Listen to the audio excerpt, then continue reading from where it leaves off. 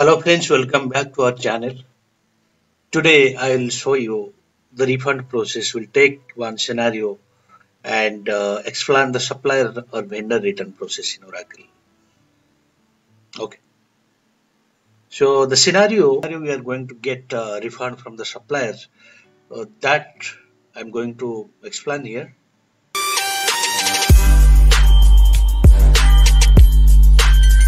Explain here and uh, supplier is ABC Consulting here. You can see here.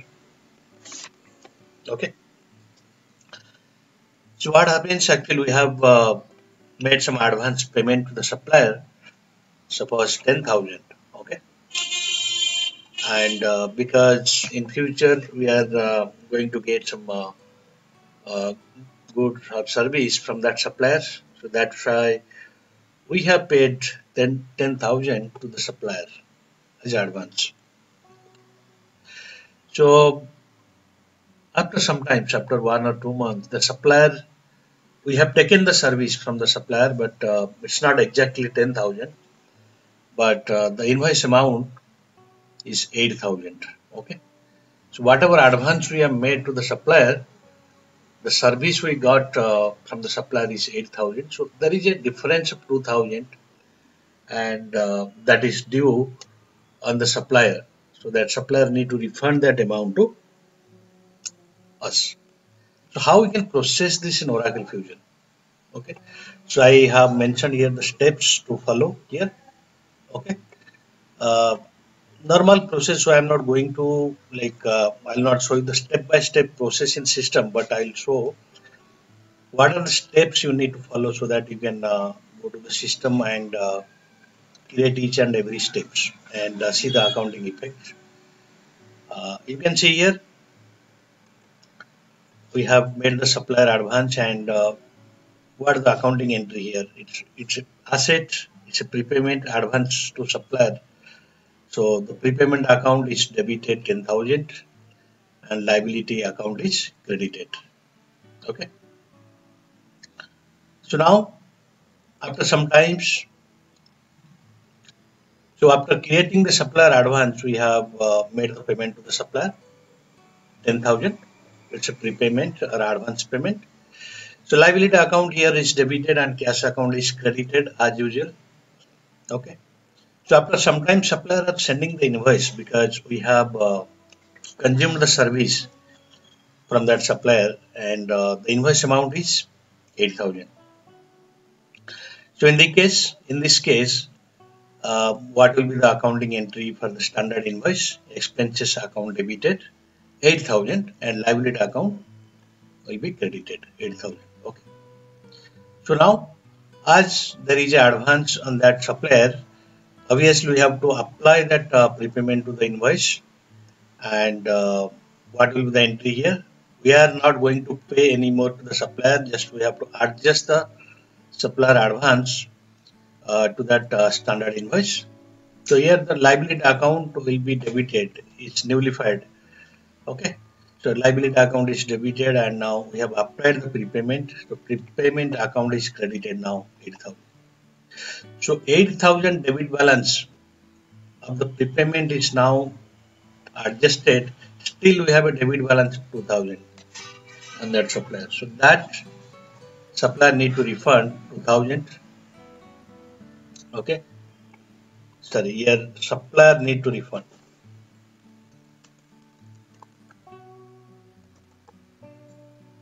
Need to refund 2000 so till now it's a normal process right?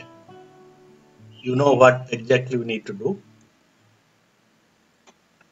But uh, here how to process that uh, refund in uh, Oracle Fusion because still there is a debit balance of prepayment of 2000 so first of all we have to close that debit balance right?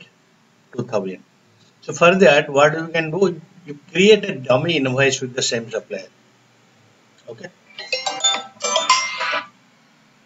Create a dummy invoice uh, with the same supplier.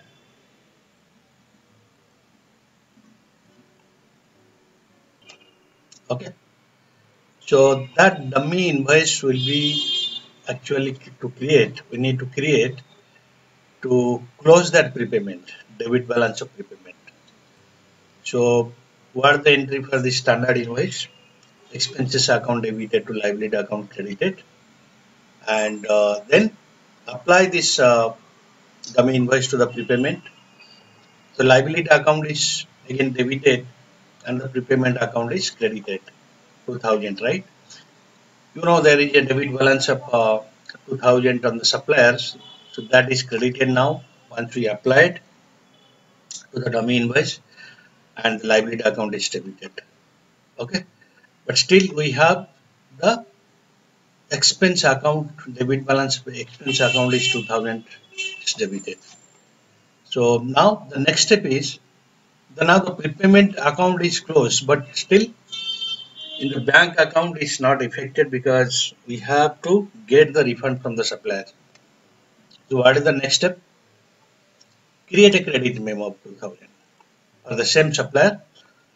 What will be the entry? Liability account will be debited and expenses account will be credited. Okay? So i will start i'll show in the system. Exactly. Till now, you understand what is the flow.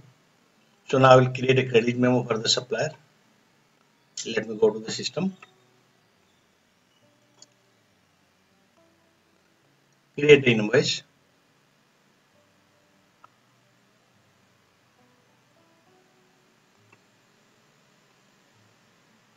Okay. So business unit is US1 business unit.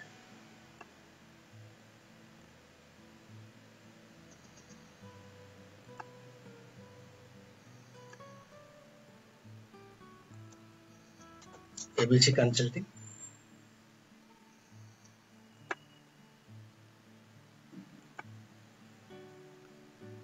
And uh, here you have to create a credit memo. Amount is 2000 minus 2000.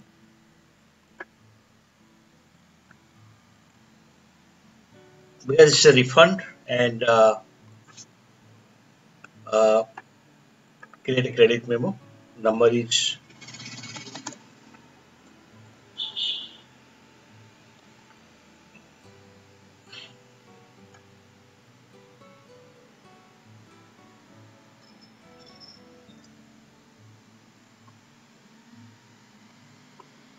minus 2000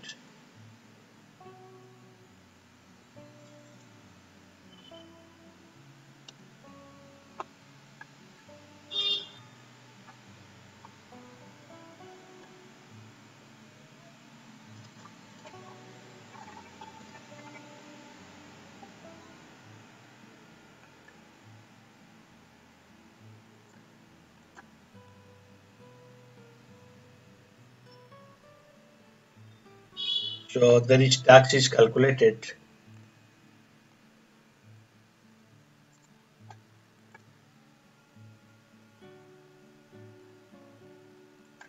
Save. Just have changed the invoice header amount to avoid any variance hold. Included the tax amount. Now validate the invoice.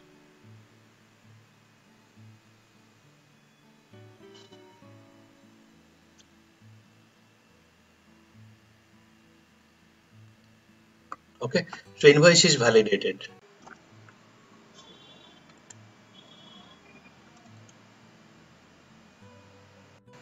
So once the credit memo is validated uh, let us uh, navigate to payment and create a payment a refund against this credit memo. So how we can do this? Uh, navigate to payment screen. Create one payment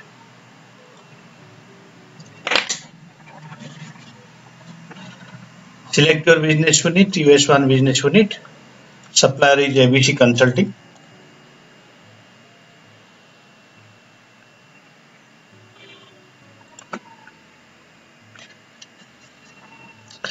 So here the payment type, okay, payment type you have to select refund because you have to get process a refund from the supplier against the credit memo disbursement bank account Bank of America payment currency US payment method check.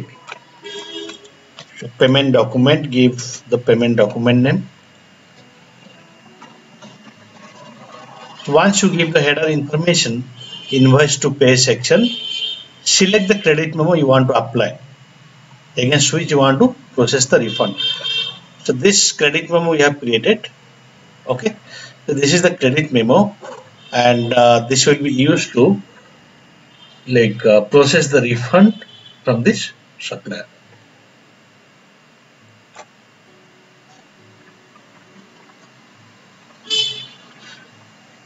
so test CM2 is selected and uh, we have applied this credit memo save and close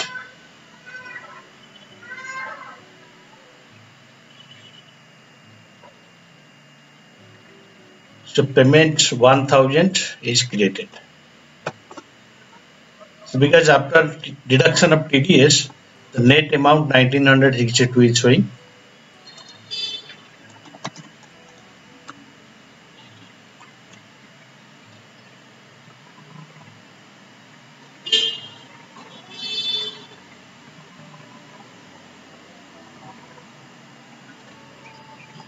open it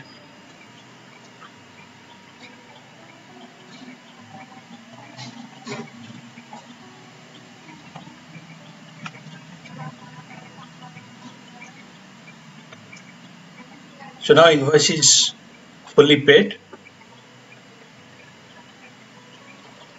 Okay. So we have applied the refund transactions against this credit memo. So in this way in this way you can uh, process the credit memo. So once you apply the credit memo you can create the accounting for the credit memo and uh, the refund transactions. And everything will be knocked up now like this uh, prepayment will be closed and uh, the bank account also will be debited based on the refund transactions. I hope you understand the concept. If you have any questions or uh, doubt you can comment in the comment section. Thank you guys. Thank you for watching this video